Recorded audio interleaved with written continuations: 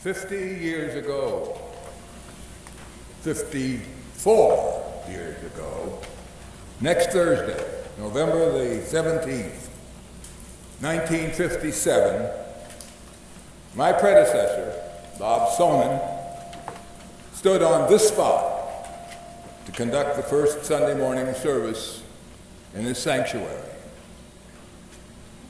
When I came here two and a half years later, and by the way, it was already apparent that this room was too small. I didn't know it then, I beg to say, and it took me way too long to figure it out. But part of the people in this congregation were in grief.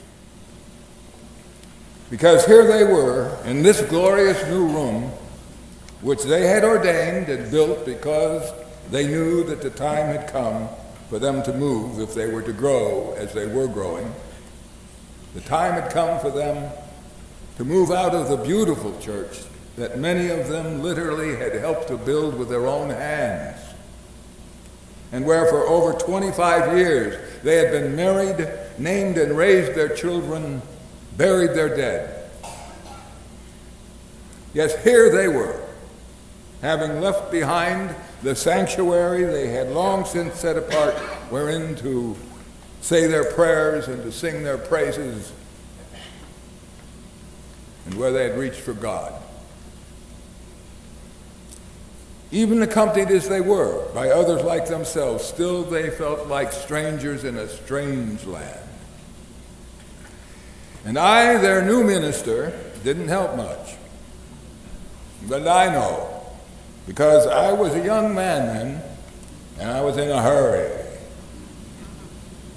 But then those were the 60s. And like these days, there wasn't much time then.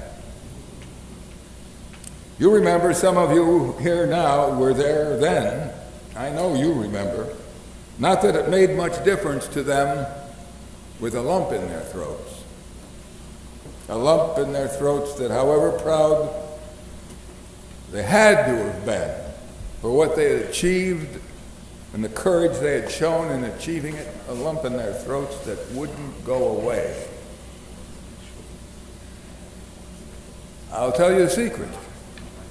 I wish I'd known then what I know now, so that I might have been of some use to them, some of whom just drifted away taking all their joy and their grief with them. Some of whom, had I known better, might have stayed, hard as it was for them.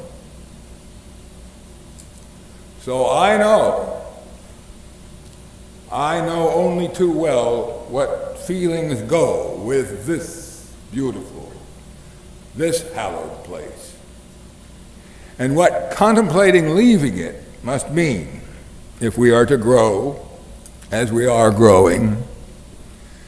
And God knows for the sake of whatever things are true, good, just, and of good report in this town, we need to grow and grow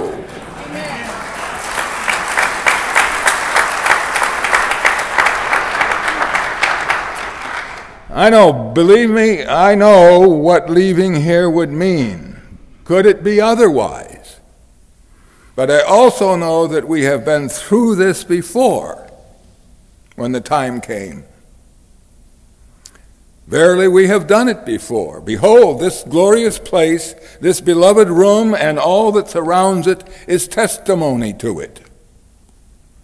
Had we not been through it before, had we not done it before, we would not be here now. So, if it is in due course and with due diligence, what we again decide to do, I know we can. With the same goodwill and vision as graced our earlier selves, carry with us in the doing of it the spirit of this place once more renewing our calling, once more establishing the work of our hands, once more freshening our brave witness to an ever larger community. That is all souls.